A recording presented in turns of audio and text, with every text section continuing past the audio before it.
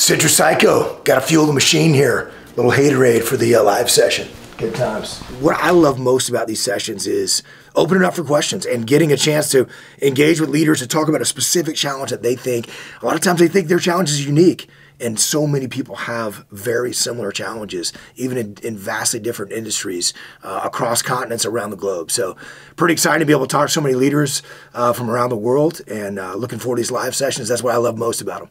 Yep, sitting here, uh, we're getting ready to do a live session for the Academy, Extreme Ownership Academy online. We're getting ready to do a live session. This is something that we do all the time, talking to talking to leaders at every level, really. And when you join the academy, you're going to see you have people that are frontline leaders. You're going to have people that are frontline, and you've got people that are CEOs and board members. It's everybody, military members, first responders, just just every industry. And we do these sessions in order to share the lessons that we learned, hopefully prevent people from making mistakes that we made so they can lead in their life, lead themselves, lead their team, lead their family. That's what we're doing. We made a bunch of improvements to the academy. This is the way we get the word out. You know, our mission at Echelon Front is to teach as many people as we can the leadership lessons that we learned. The best way to make that happen is through virtual training. So we've invested a bunch into making this virtual training as good as it can possibly be. We're going to continue to improve it, but that's what we're doing. Getting ready to go live. We do this about once a week. We'll we'll reach out and we'll we'll do sessions with members of the Academy. That's what we're doing today. This one's open to the public. So give everyone sort of a glimpse into what we offer here and what they can take away from it. That's what we're doing. Getting ready to get it. Thanks for coming, everybody. And and just so you know what's going on, this is this is the Extreme Ownership Academy. We do calls like this once a week, maybe twice a week sometimes, but we do at least one of these calls a week on the academy where we answer questions, we go over topics, we talk about things that we're going through. We discuss things with with people that are members of the academy, and it's a really cool platform to to utilize. And then, of course, on the Extreme Ownership Academy, there's a bunch of courses that you can take.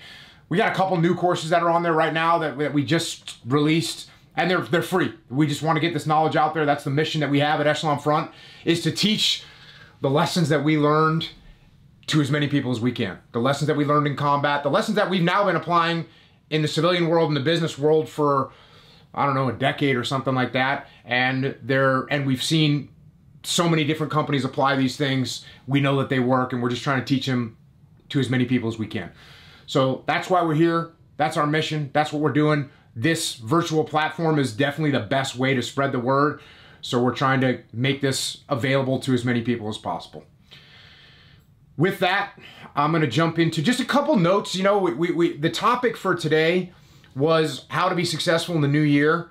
And, and that's one of those topics. It kind of reminded me of the topic that I talked about on my Instagram on Monday or, or on New Year's Day, which was the new year, new me, and how everyone runs around saying new year, new me. And I said, hey, it's not true. You don't get a new me. You got what you got. And there's a similar theme when I start thinking about how to be successful in 2023. Anyone that knows anything about me, anyone that knows anything about us at Echelon Front, you already know what the answer to this question is. How do you how do you become successful? Well, take ownership of what's going on in your world and then implement the four laws of combat leadership. That that's how you become successful. Cover, move, simple, prioritize and execute, decentrally, decentralized command. That's what you need to do. Those are the methodologies for achieving success. That's what we utilized on the battlefield. That's what we do in our business. That's that's that's how we win at life, at, at, with our family, with our health, with our finances. It's those fundamental principles. So cover and move, which is teamwork, working together, building a team, whether it's a team at work, whether it's a, your family, whether it's a group of people that you pursue fitness goals with Cover Move is about building a team and, and supporting each other. Keeping things simple, what's our mission? And what's the simplest course of action to execute that mission? And then prioritize and execute, which means you can't do too many things at once. Don't be ADHD trying to do 58 different things at the same time. It won't work. You need to focus your efforts. And then finally, decentralized command, which means everybody leads. You've got to you've got to come up with what your game plan is, and you've got to let people execute. And and sometimes you might be thinking, well, Jock was talking about a business. No, I'm talking about getting your kids to make their own peanut butter and jelly sandwiches. That's decentralized command. So it applies to everything. And make sure that everybody on the team understands why they're doing what they're doing. And then make sure that everyone on the team understands why we are doing what we are doing. So those are the the the core principles that we teach and we've seen those principles fix SEAL platoons. We've seen those principles turn around scores of businesses and teams. We've watched these principles fix all kinds of companies and organizations. So, if you want to learn about those fundamental principles, of course, obviously, we've written about them in the books. We've got the online academy, we've got courses about each one of those.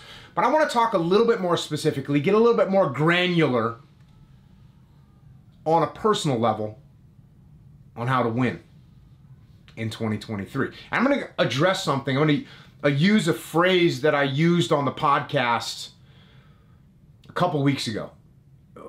We were talking about making things happen, and, and what I said was that dreams die in execution. Dreams die in execution.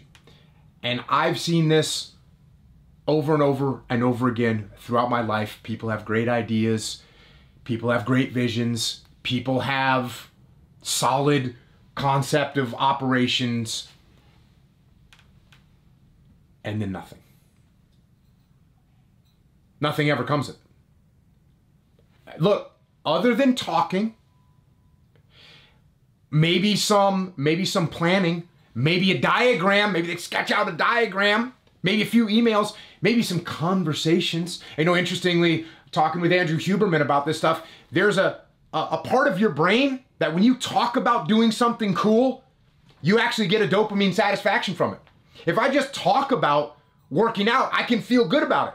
Like, oh, I'm, go- I'm gonna do a good workout tomorrow. That actually is enough dopamine to get me through. Don't even need to work out. You start thinking, oh, I'm gonna write a book. Just talking about, hey, JP, I'm gonna write a new book. It's gonna be awesome. It makes me feel good. JP goes cool. He gives me some great feedback. I didn't even have to write anything. Didn't even have to do anything. Got free dopamine. So that trips people up. So they have these ideas, they have these conversations, but nothing ever actually happens, and that's where the dream dies.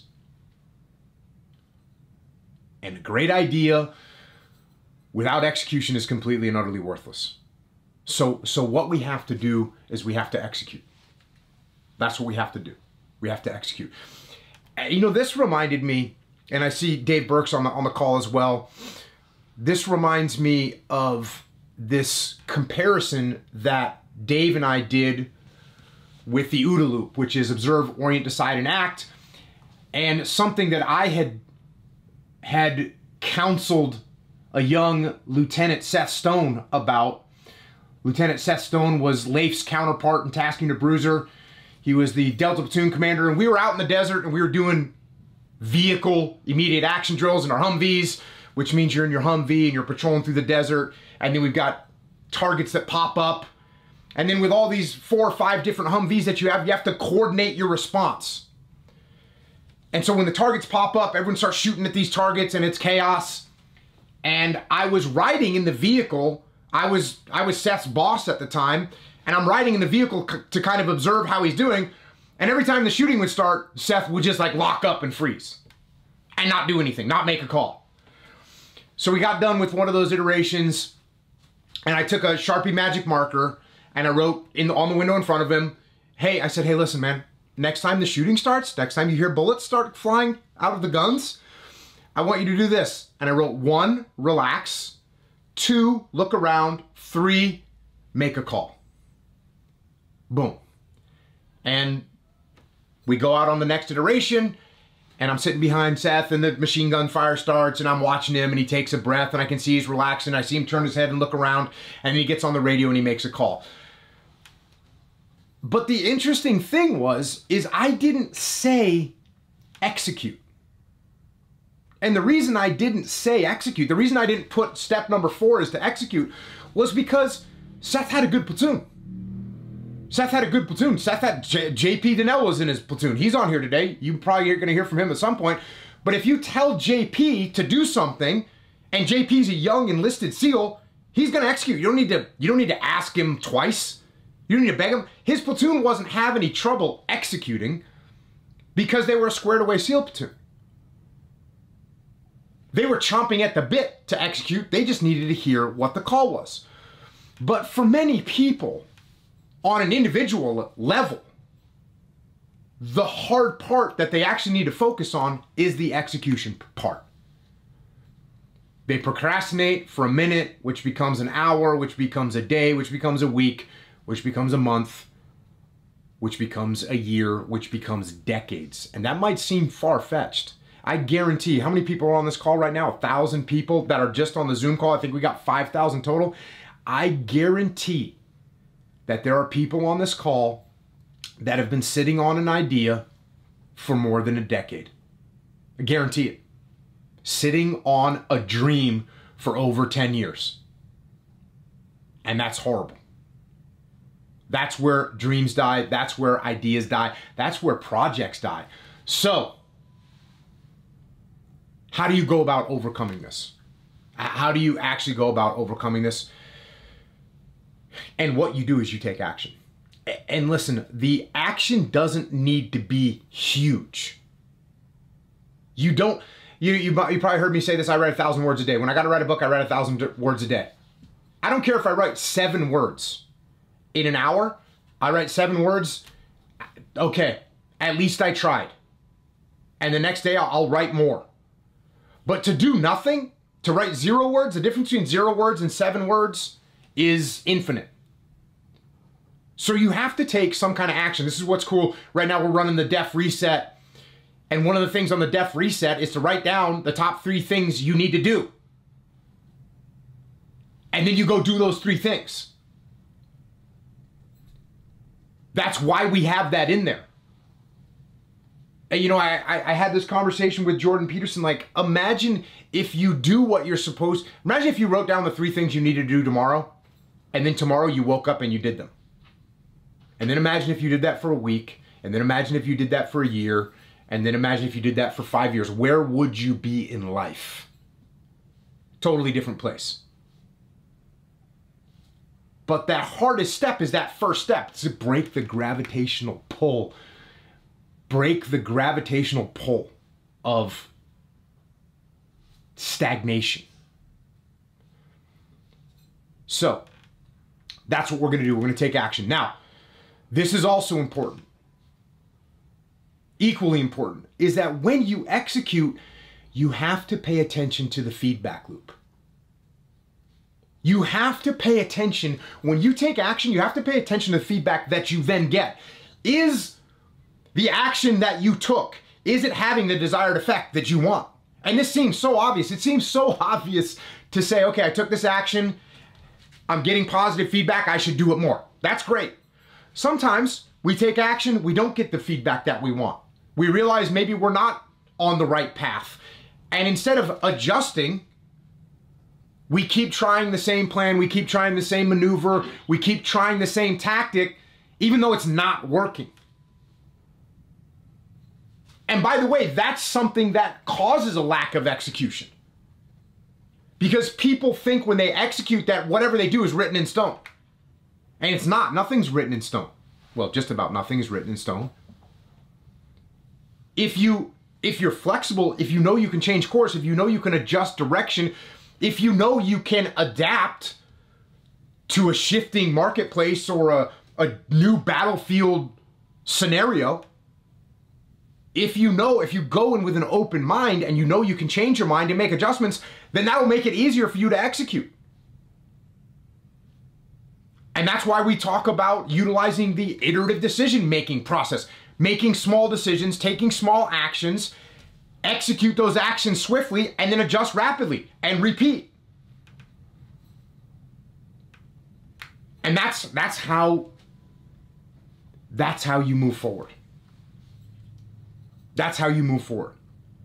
And these are the principles of how you move forward, and these are the principles of how you win. Take ownership, Cover move. Simple. Prioritize and execute. Decentralized command. Take action. Listen to the feedback. Stay humble. Cause because your ideas are not going to be perfect. They're not going to be perfect. I've had good ideas, I've had bad ideas. I've never had a perfect idea. Ever. That's okay. What do you do? Adjust, reattack, repeat. Adjust, reattack, repeat. That's how you win. That's how you win in 2023, and that's how you win every time, every place in life. And with that, Leif, I don't know if you got any additional uh, comments there, but we can jump into some uh, some Q and A. It's definitely one that resonates with me. That quote, you know, the dreams die between uh, decide and act in the OODA loop or, or in the execute piece. Because um, I come up with a lot of great ideas, you know, and then and then those ideas get pushed off, or it takes it takes uh, a long time. And I think, uh, you know, to to get to something, and I think what you have to do is take extreme ownership. Something that JP uh, has said that resonates with me. If because oftentimes, right, we say, well, we don't have time for this. I don't have time for that. I didn't have time to get to this. It's not that you don't have time for it. It's that you didn't make it a priority. And if you if you take that approach and you take extreme ownership of making the things a priority that are going to move you further along down the road on the big strategic initiatives that are going to impact your life or take you in a different direction, um, you know, for, for the better, uh, then then you will make those things a priority and you'll actually get them done, and uh, and you'll be able to execute. It looks like we got some hands raised. I'm tempted to just to jump into some hands raised. So Steve Lyell, what do you got? Jamie's laughing because I'm disobeying her her protocol. What do you got, Steve? Violating SOPs. Yep. What do you got, Jocko Steve? Willink. What's up, man? Hey, I'm just shooting in from uh, Manawatu, Feilding, New Zealand. Outstanding. So, huge fan of all your work. I'm currently reading Extreme Ownership for the first time. And um, it's, yeah, it's fueling me, man. I'm, uh, I'm, I'm a year into jiu-jitsu. I'm thriving in it. And um, it's just ticking so many boxes. And I feel every day more inspired to, yeah, take ownership and uh, pave the way forward. So thank you for your, um, yeah, thank you for your work. Right on, man. Appreciate it. Hey, just a question. Um, how vital is it to first understand what our nature is before making plans? What our, and just to be a little more specific in that, how vital is it to understand our psychophysical nature? Because often we make plans, but they're not personalized or relevant to what our true nature actually is. Can you speak to that? Yes. You have to account for what your nature is.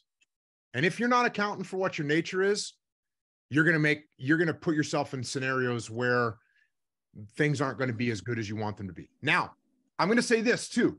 Your nature is not a curse that you're stuck with. It's something that you have to contend with. But it's not something that you go, "Oh, well, I was never good at this, therefore I'm not going to attempt." But to look at your world and say, "Oh, you know what? This isn't my strength.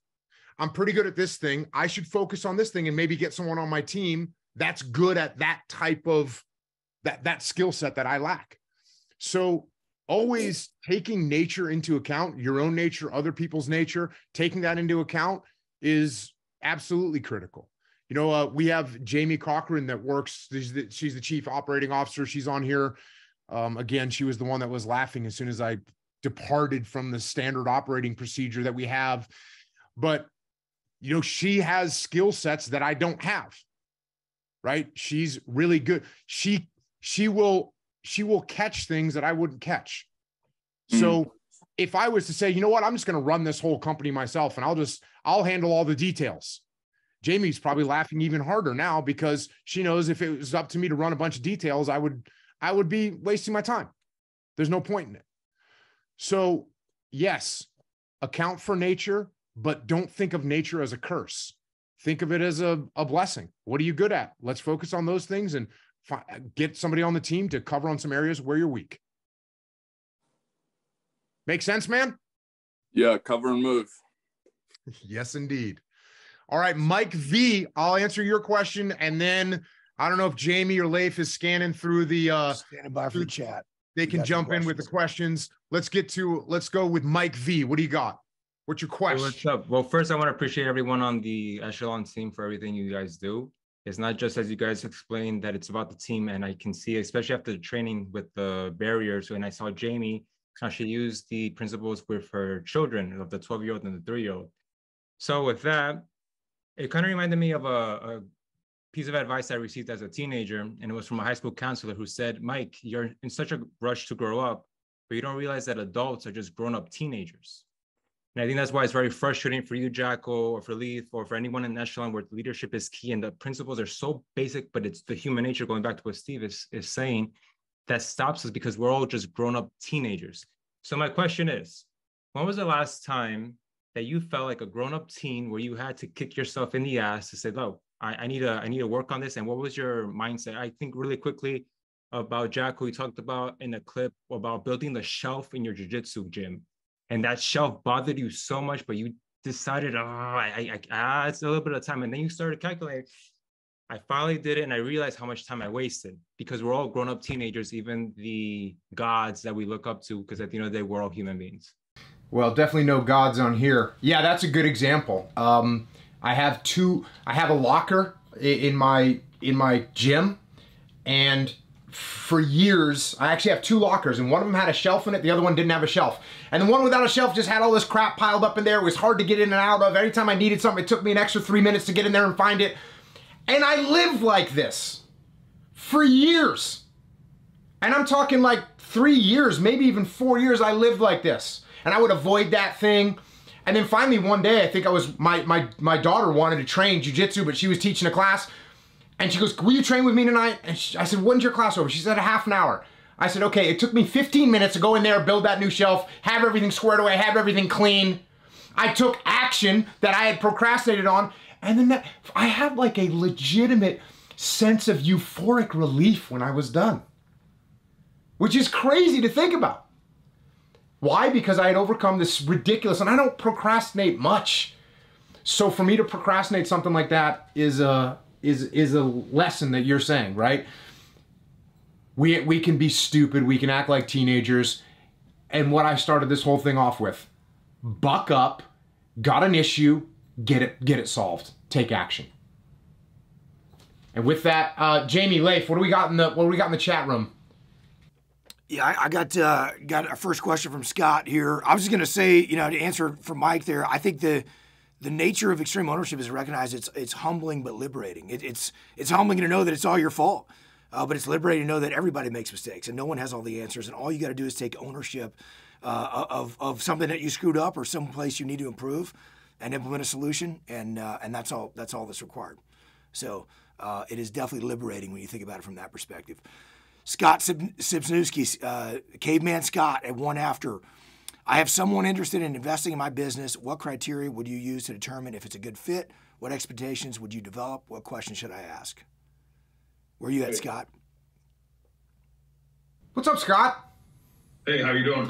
So you got an investor, and uh, for those of you that don't know, we have background because Scott's a member of the academy, and we talk we talk once a week. So we're we're constantly solving problems, and he's grown his company a bunch in the past year, and is doing outstanding. And obviously, he's doing outstanding because he got he's got people that want to put money in. They want to throw money at you, Scott.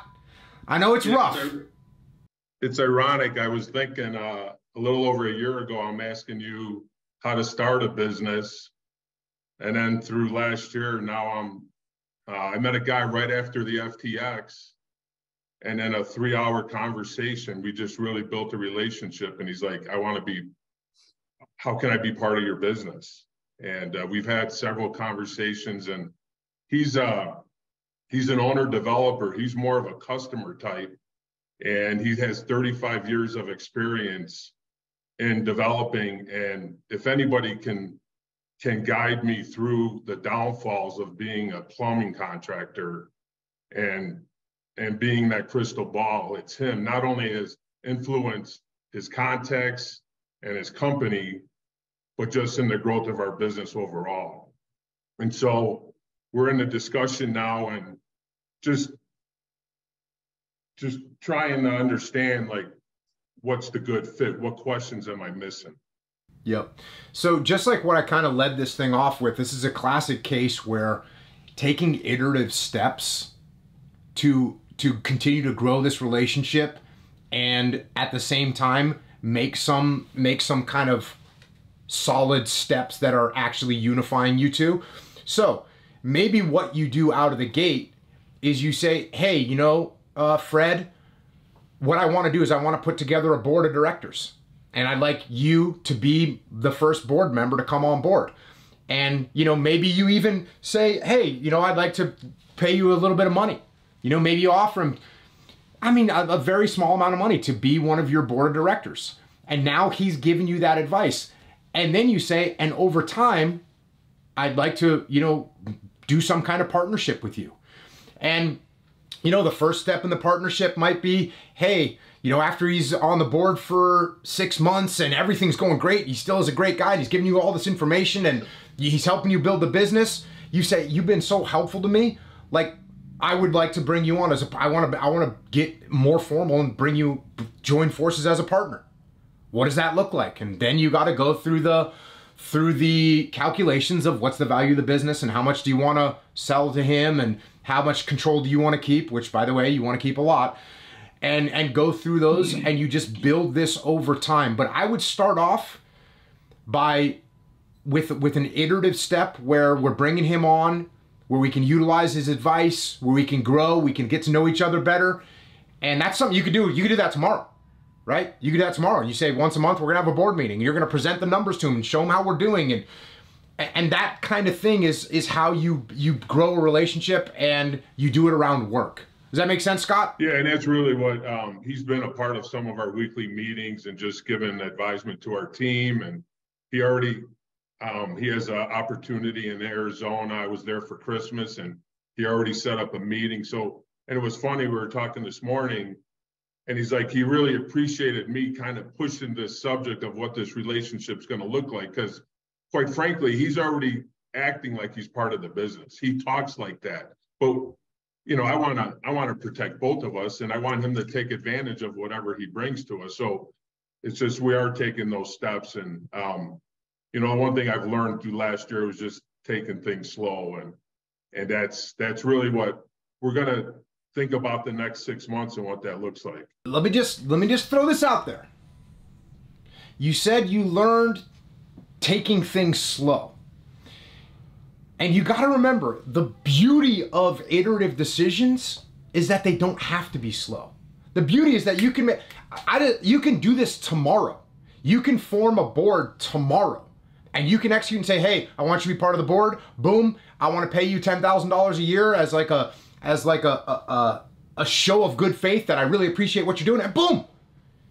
It's not about doing things slowly, it's about doing things quickly, rapidly, and then making adjustments. And then the adjustments can be, man, this guy could turn out to be maybe not everyone that everything that you thought he was. And you look up and you go, you know what? I'm I'm dissolving the board. Bye, Fred. You know, who knows? But if things go in a positive direction, you can take the next step. You can take the next step. So don't confuse iterative decision making with being slow. It's actually moving fast, it's being decisive, but it's making small decisions and making adjustments. All right. Right on. What else we got in there, Leif? What else we got in there, Leif? Appreciate it, Scott. We got uh, a three after from uh, Kevin Hess. Good morning, EF team. How should a person train to remain calm in stressful situations? Where you at, Kevin? Right here. Kevin, what do you do for a living? I'm in engineering. So, what kind of stressful situations do you foresee yourself being in? Uh, well, just you know, with the team presenting to uh, executive leadership, you know, that could be stressful for them, and so it's really about how to prepare them uh, to to respond in those situations calmly, and then you know just everyday stressors of life, right? Yep. Uh, there's stressful situations, and and um, being able to respond calmly is better than to freak out and then overdo it. Yes, indeed. The, so what we're talking about here, Kevin, is we're talking about the skill of detaching from the chaos that's going on, detaching from the mayhem that's happening. The way that we trained young SEAL leaders to do this was to put them in chaotic situations. Not totally overwhelm them, although sometimes we would totally overwhelm them just that, so that they could see the outcome of panic. But we would put them in high pressure situations where if they started to get excited, get overwhelmed, start yelling, everything would fall apart. So, in order to train people for stressful situations, we would put people in stressful situations. Now, what does this mean for you? You're in engineering, you're running an engineering team, you have to do presentations. It is very easy to do a rehearsal with your team and you you sit there and ask them really hard questions.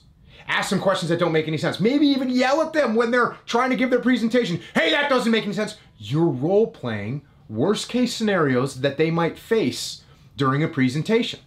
I know that at Echelon Front we do this.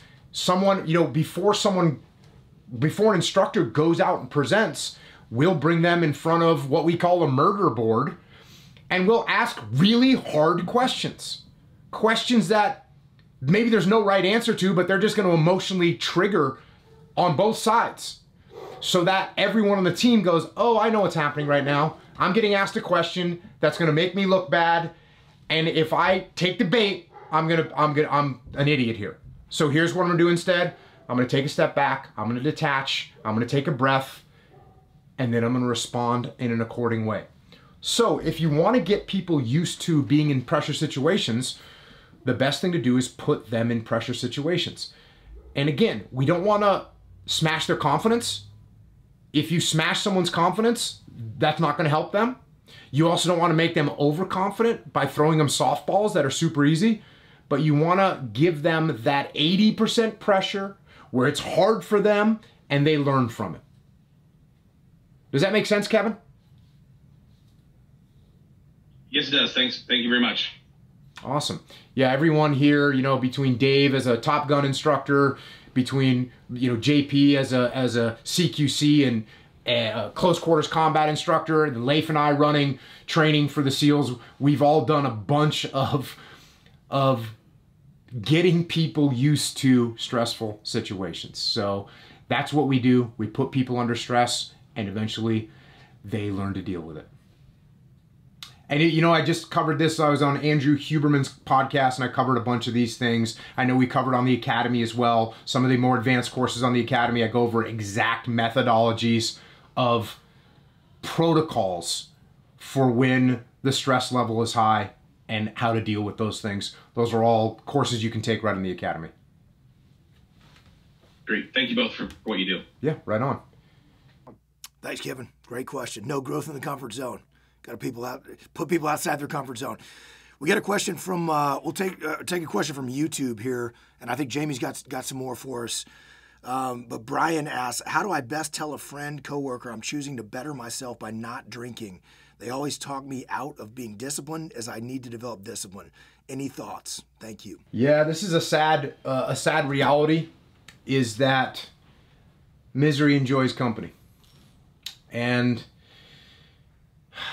again, this is the the old parable of the crabs in the bucket. You're a crab that's trying to crawl out of the bucket, and as you get to the top of the bucket, the other crabs grab you and pull you back down to the bucket. I know I've told this story before about Seth Stone. Seth Stone was wanting to go to Princeton University. There was a a relatively unknown program from the Navy to go from the Navy and go to Princeton University. And he wanted to try for this program. And a bunch of other officers, when he told them, said, Oh, you shouldn't do that. That's going to hurt your career. And he said that to me. I said, What do you mean? How is it going to hurt your career to be to have a, a degree in policy from Princeton University? Tell me how that's going to hurt your career. But it was other crabs that were trying to pull him down. So when people in your life are trying to encourage you to do things that are that we know are not good for you, especially if you admittedly are saying, hey, I've got issues and I know I shouldn't be drinking, and your friends are encouraging you to drink, they're trying to keep you in that bucket. They're trying to keep you down. And it, look, you don't have to be mad at them. You just have to recognize what's happening. And then you have to move forward. And if you have crabs that are continually yanking at your legs and trying to drag you back down, eventually you'll realize that maybe you don't want to be with those crabs anymore. You want to find some seagulls that have wings that are going to pull you out of this place and help you and support you. So that's what we're doing. That's what we're doing. We're trying to find people and hang around with people that want to lift us up rather than people that are looking to drag us down. And and I'm going to tell you it's it's difficult to find those people. Pe- we all have egos, we all have envy, we all have we all have jealousy. And sometimes, you know, JP's like doing super hard workout and I'm over there thinking, man, JP's doing doing better than me and maybe I want to encourage JP not to work out so hard. Right? Like, okay. Why is that? What kind of a what kind of a loser would I be if I don't want my friends to get stronger? That's that's crazy. So, if you run into these kind of people, just just recognize. Look, you don't have to hate hate everybody. You'll end up be, you'll end up uh, being mad all the time. But just eh, understand what people are doing. Understand what they're going through. I feel for you know JP would feel sorry for me. If I was trying to convince JP not to work out, he would feel sorry for me because he'd realize, oh, Jocko feels weak, and I feel sorry for him. That's what would happen. So there you go. TJ O'Neillia, what do you got? You got a question? I saw your hand up earlier. Yeah, Jocko, I think I saw it. I typed it in and it got answered, but I was wondering at what point iterative, iterative decision making could seem like a lack of continuity. Yeah, so where it can see, seem like a lack of continuity is when you haven't thought through what's even happening. And there's also a trouble that we can run into where that we have to be careful of is I get feedback and the feedback that I get isn't exactly what I want, so I just surrender. Right? So this is the dichotomy of leadership. You know, Leif and I wrote a book called The Dichotomy of Leadership. If you take anything to an extreme, it's going to be negative.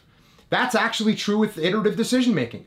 Because if I say, "Okay, listen up echelon front, from now on we're going to we're to go forward, we're to what would be a good thing to use? We're to hold we're going to hold an event in South America. Jamie, go check out what we can do in South America. And Jamie comes back to me two days later and she said, You know, I looked at the venues down there and I didn't see any that really looked good for us. And I went, Okay, well, forget it. you know what I'm saying? Like, I could just say, Okay, well, forget it. In fact, when we did the very first muster at Echelon Front, it was like, I think we could do something. And, you know, the first feedback was like, Well, we don't have much time. We don't have much time to get it ready and sell tickets and all that. And the, I could have taken that and said, well, okay, Jamie went and researched it, and now we're just not going to do it. But instead, it was like, okay, well, how much time do we have? And how big of a place can we fill? So you're right, TJ. You have to be careful that you don't overreact to the feedback that you're getting. This is a problem. That's why you have to, what you have to do as a leader is you're collecting data. That's what you're doing. You're collecting data. That's how you're making decisions, but through data collection. And if you, just like any decision, if you take one piece of data and you over index on that, it can throw you off, completely off. So when I get data, when Jamie tells me, hey, you know, this client doesn't seem they're worth working with, I just don't say, okay, well, forget them. Tell them we're not working with them. I say, okay, well, what's going on? And Dave worked with them last year. Dave, what do you think? And well, hey, what's the issue? Is that they don't have budget or they don't have enough time? Okay, so it's one piece of data. And what we have to be do as leaders is going back to the earlier question from Kevin, we have to take a step back and detach so we can see all the data. And we don't over-index on one thing. If we over-index on one thing, it's going to be problematic. That's why being detached is so important. That's why keeping an open mind is so important. That's why listening to the feedback is so important. Yes, you're right, TJ. Can you can you become indecisive and actually the very first academy online that we ever did live, I talked about this. I talked about how when leaders make a decision, that little decision that a leader makes, which is no big deal. Like if if we're supposed to do a a muster in Dallas, Texas, and one day I say, you know, I'd really like to go to to Wichita, Kansas. Hey, it took me one second to make that decision. I call up Jamie. Hey, Jamie, you know what? We're not going to Dallas anymore. Send us to Wick. Just get us a muster in Wichita, Kansas. What does that do to Jamie? It took me less than one second to make that decision. Jamie has months of work to undo and redo. So, if we're making rapid changes that aren't consistent with our overall plan, it's going to be problematic. Does that make sense, TJ? TJ O'Neil from from O&G Construction, one of the first events ever conducted by Echelon Front. There you go. But was what, 10 years ago, something like that, TJ? 2012. And still putting the principles into action and an incredible company up there, uh, construction company. By the way, used to be sort of a regional construction company. Are we nationwide now? You bet. right on. Salute. Thank you. We got a got a question from uh, three after from Jason. Uh, hello, my name is Jason. I'm a manager of a retail company. I've been encountering problems with the owner. His bad temper has caused valuable employees to leave our shop and work for direct competitors. I take ownership in all the shop's failings, and my employees have seen my example follow suit. Um, however, the owner likes to find an employee and bully them for months in a battle of attrition, to which uh, eventually the employee loses and leaves. Uh, do you have any advice on how to handle a bad employee that happens to, to be the owner? Thanks. Jason. Where you at, Jason? I'm here. I just want to make sure you're not getting reprimanded or bullied right now by your boss. So no, no, no. That's not me. so, so look, in leadership strategy and tactics, I talked about the escalation of counseling with someone that's below you in the chain of command. So if I'm working with Leif and Leif is he's not finishing his projects on time, I just don't jump down his throat and yell at him. I I say, hey Leif, you know what's going on? Are you getting the support you need? And he says, "Well, I could use this. This would help me." And so hopefully he performs better next time. If he doesn't perform ne- better next time, I got to escalate that and say, "Hey, Leif, you got to get this stuff done. Otherwise, I'm going to have to start pulling some leadership away from you." And he says, "Okay, I'll fix it. Maybe fix it. If he doesn't fix it, maybe I have to actually write him up and say, "Hey, Leif, look, next time you miss a timeline on this, I'm actually going to have to pull you out of this leadership position." And hopefully he goes, No, you don't need to do that. And he squares himself away. If he doesn't, Maybe I have to go ahead and pull him out of that leadership position. Maybe I even eventually have to fire him. That's what I have to do with someone below me in the chain of command.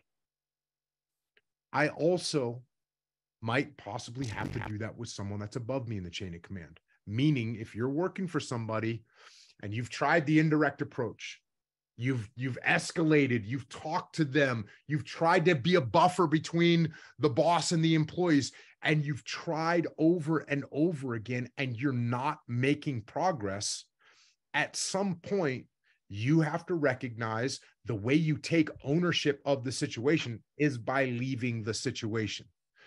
Now, listen, mo- that is that is pretty rare that that actually happens. Most of the time, when we work with companies and we work with individuals that they're running into a situation like this, most of the time as they form a good relationship with their boss and they gain trust and they listen to what the boss has to say and they treat their boss with respect over time the boss starts to listen to them the relationship is strong and they can steer their boss in the right direction and usually can get things fixed. Occasionally you have somebody that has uh, what we talked about first question on this call has a bad nature right? They formed their personality at a car crash scene, right? They're just, they don't have a good personality. They don't, they're not empathetic. They don't listen. They're arrogant. And when you get someone like that, the, the one type of human being that we say we can't turn into a, a better leader is the one that's arrogant. So if you have someone that's arrogant, they're a bully, they're treating people badly, and you've built that relationship and you've tried to steer them in a, the right direction, there are times where what you do to take ownership is you have to figure out what your exit strategy is going to be. All right. Thank you very much. Yeah. Some people catch themselves in that almost like a codependent relationship where when taking ownership becomes I'm at fault for everything and therefore I'm not going to leave this bad relationship. Well, sometimes just like a codependent relationship, if you got someone that's abusive, the way you take ownership is by leaving. So you got to keep that in mind sometimes. Okay. Thank you, Thank you very much. Hey, Jamie, John, I know you've got some questions. Go yeah, ahead. there's as I look through both the YouTube and the the Zoom chat, there's a lot of questions around influence. There's questions around how do I influence my team to take on board these principles of extreme ownership? How do I influence my team to feel bought into the mission? How do I motivate my team? So there's a lot of questions around this influence question, which I know you have some thoughts on. So can you guys talk to how do you influence your team, whether it's to buy into our principles of extreme ownership or just generally buy into the mission and create those relationships up and down the chain of command? So this is a very similar question that we get along these lines is how do I get people to listen to me? How do I get people to trust me? How do I get people to respect me? And how do I get influence over people? So, trust, influence, listen, respect. How do we get these things? How do we make these things happen?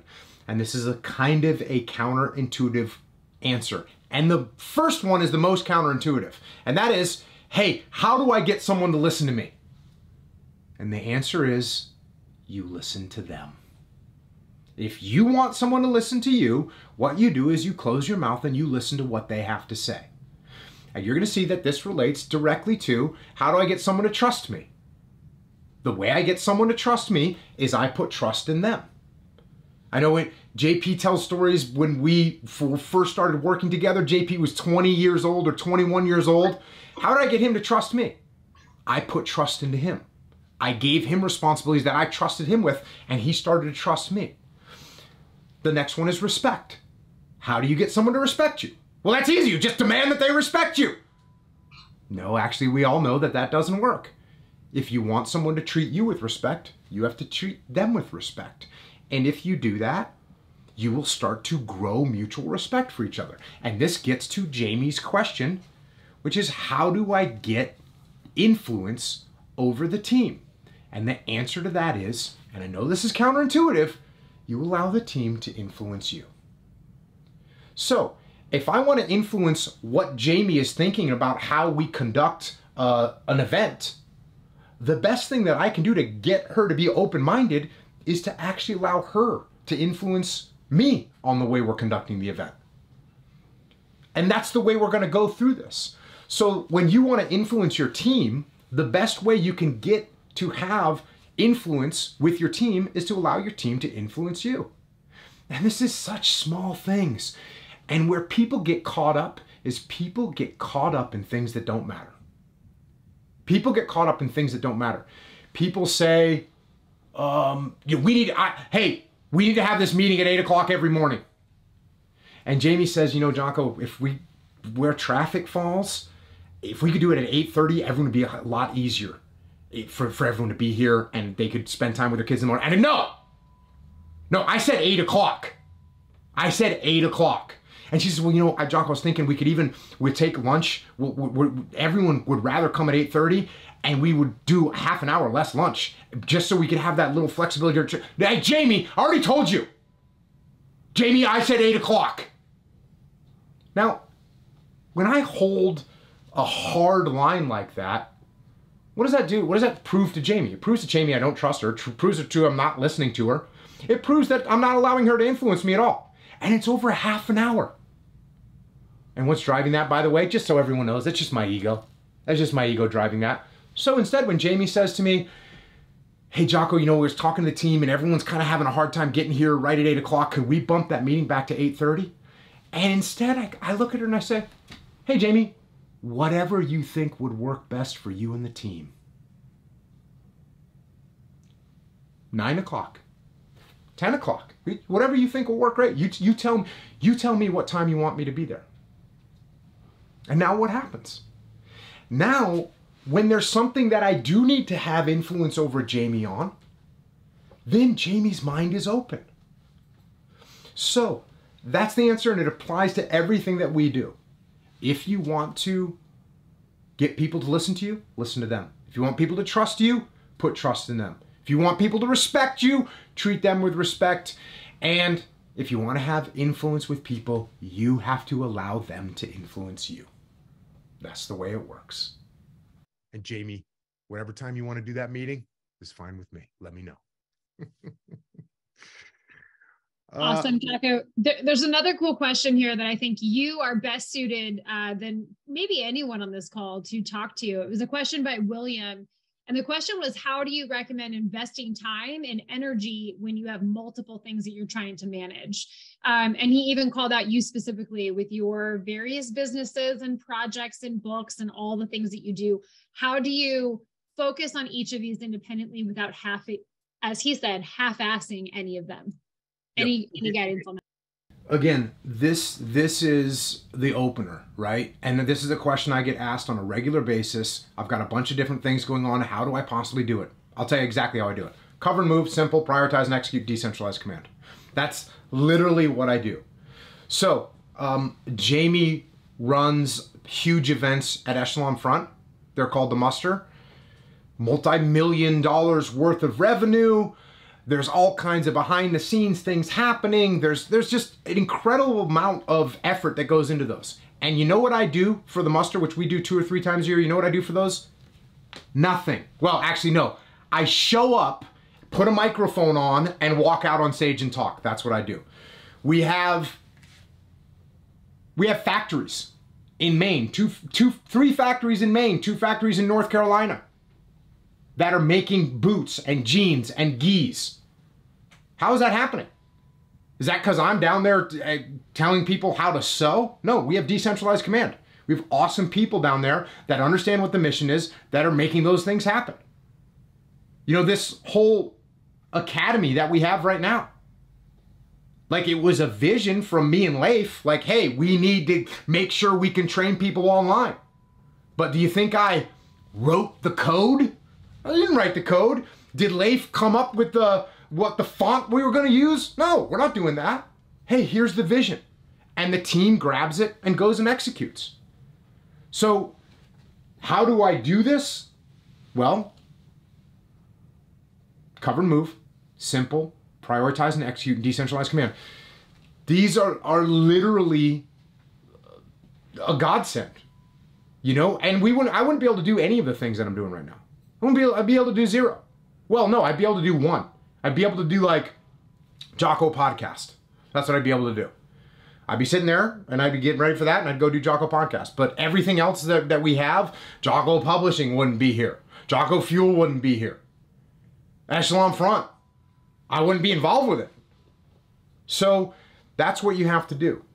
And you work with awesome people. You know, JP runs the FTX at, at Echelon Front we he's running i don't even know how many he's running 30 40 of those a year? Tr- full training events with risk management with different companies all over the country. You know what i do? First of all i i hardly even go to most of them. And when i do go to them i just show up and talk. Dave Berke runs our our actually i think it's something like our four biggest clients at echelon front our four highest revenue for echelon front I think there's four or five companies that provide the biggest contracts for Echelon Front. I've never talked to them. It's Dave Berke. He's running that part of the company. So that's what we're doing. That's how this works. It's there's no secrets here. I'm I'm I don't have I I uh I don't have some magic, you know, uh, clone or three or four clones that are out there doing all this stuff. No, I just got awesome teams and awesome people, and we work together to accomplish the mission. That's what's happening. Jocko, to add to that, like I actually now do that at FTXs.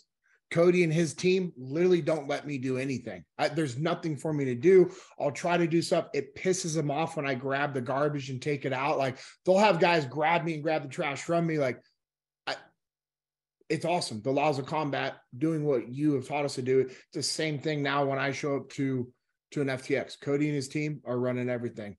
And, mm-hmm. and and I know Jamie will say the same thing about the muster. And I've actually seen Jamie like while there's a bunch of things happening at the muster, she's not doing anything. She's just sitting around doing nothing. I know Dave Berke. At one point, Dave Berke told me, "Oh, you know, my calendar's so full," and he's all excited about it. And I was like, "Oh, that's cool. So you have to do everything. That's good decentralized command." And six months later, he's like, "Hey, I can do whatever I want. The team's running it." So yeah, as you grow, and as the people on your team grow, everyone is stepping up and that way, JP is looking up and out. Jamie's looking up and out. Dave's looking up and out. They're not having to look down and in at the FTX or down and in at the muster or down and in at the LDAPs. Everyone's looking up and out. That's what we're doing. Straightforward. I think part of that too is is the is accepting that what you're trying to do is become the silent leader where you don't have to do everything. And I think this people have this idea of the traditional leader where you've got to make all the calls and you're doing everything. Uh, and that's actually not what good leadership looks like. That's what I thought good leadership looked like until uh, until I worked with Jocko and Task Unit Bruiser. And when he was letting me run with stuff and asking me how I wanted to do things and empowering me to step up and lead, I realized that's actually what good leadership looks like, and that's what we should all be striving toward. If you want to be in charge of everything, you should try and be in charge of nothing. Now, look, when you start off, when Leif and I started Echelon Front, bro, we did everything. I mean, we were booking flights, we were setting up our travel, we did everything ourselves, obviously, because there's no one there. But then as we grew, as soon as we could, we, we gave these responsibilities to other people, and then they stepped up, took ownership, and made things happen. Jamie started doing that for us. Now Jamie, Jamie doesn't do any of that stuff anymore. I'm not sure what Jamie does anymore. but Jamie doesn't do that kind of stuff. She's she's building business. She's building business. She's out as an instructor. She's out growing the platform. She's not managing travel anymore. So so that's what we do. That's how it works. And that, my friends, is 1158. I know that when we run these things, uh, usually weekly, we go a little bit long, but I don't want to keep a bunch of people packed or overtime.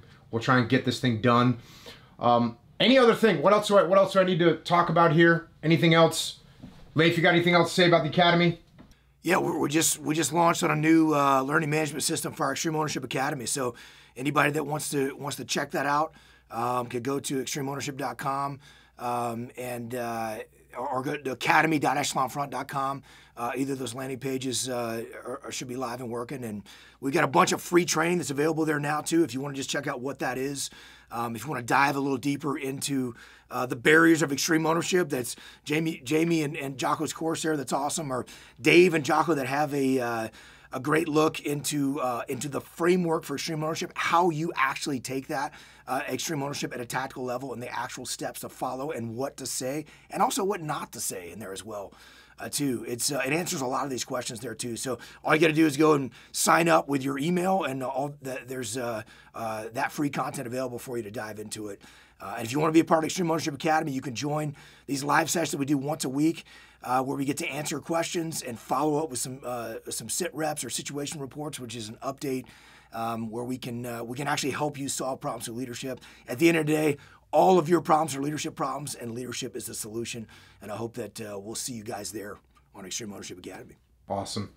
Yeah, it's it's really it's really just kind of a crazy thing when you start to apply these principles you're you're going to see and and I know Leif's been uh, running a little podcast lately called This Stuff Works.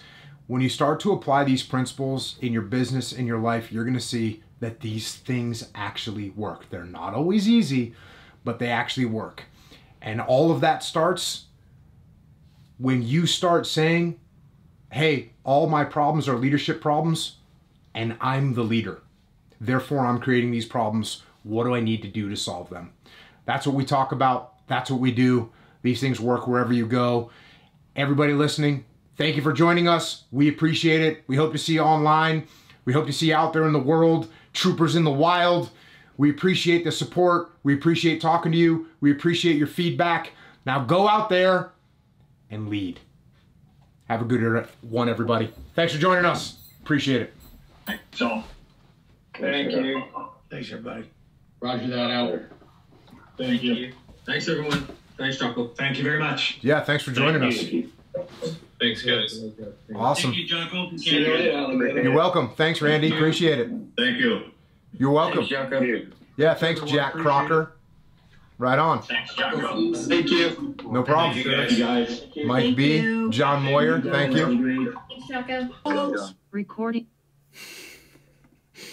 Lots of thank yous going down. Just wrapped up the, an awesome live session with a thousand troopers from all over the world, and I know there were hundreds uh, on YouTube and Facebook as well.